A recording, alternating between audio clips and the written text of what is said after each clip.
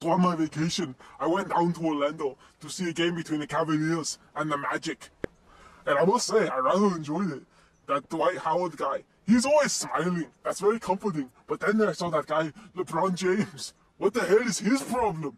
LeBron James. Every time he hits or blocks a shot, he always walks off the court so pissed off. Thank God that man wasn't hit with gamma rays. That'd be fucking scary. So every time he hits a shot, he just has that angry face going. He may as well just walk on the court angry and pissed off. And you know something else? I'm so glad Orlando won the series. So where's your angry face now, LeBron? You know something else, LeBron? You're the only good for 20 points a game. It's the referees that make you as good as you are. And another thing, why is it that every time someone touches you, it's considered a foul? You know something else, LeBron? You may as well just be carrying a fucking suitcase in the court because all you do is travel, but the referees don't call it because it's a fucking star call, no matter what happens. And you know something else, LeBron? All you ever do is call people witness. Well, you know why? What I witness? I witness you being star called. I witness your shitty plays. I witness Kobe Bryant getting the same treatment. I witness your angry face. I witness you elbowing people in the face. I witness your traveling. I witness the magic getting rid of you and your shitty team. I witness Carlito falling on his back when the man wasn't even touched. I mean, I thought Carlito was a wrestler.